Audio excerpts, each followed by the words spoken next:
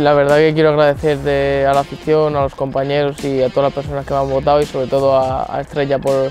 por, hacer posible este premio del jugador del mes de, octubre y bueno, muy agradecido.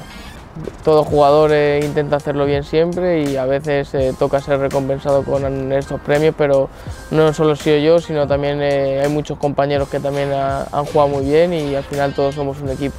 A nivel personal me he visto, me he visto mucho mejor, me he visto con, más confianza, con más dinamismo y, bueno, mientras siga teniendo minutos y, siga jugando como estoy, podré mejorar eh, todo lo que estoy haciendo y coger aún más confianza y, ser mejor dentro del terreno.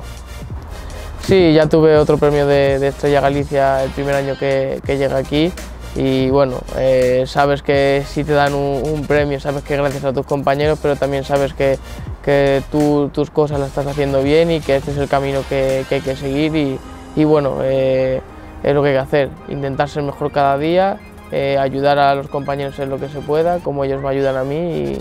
y, es eso al final. Sí, la verdad que cuando, cuando llegué al Celta tuve un premio de, Estrella Galicia, eh, ahora este es el, segundo, han pasado tres años ya desde de, aquello y, bueno, eh,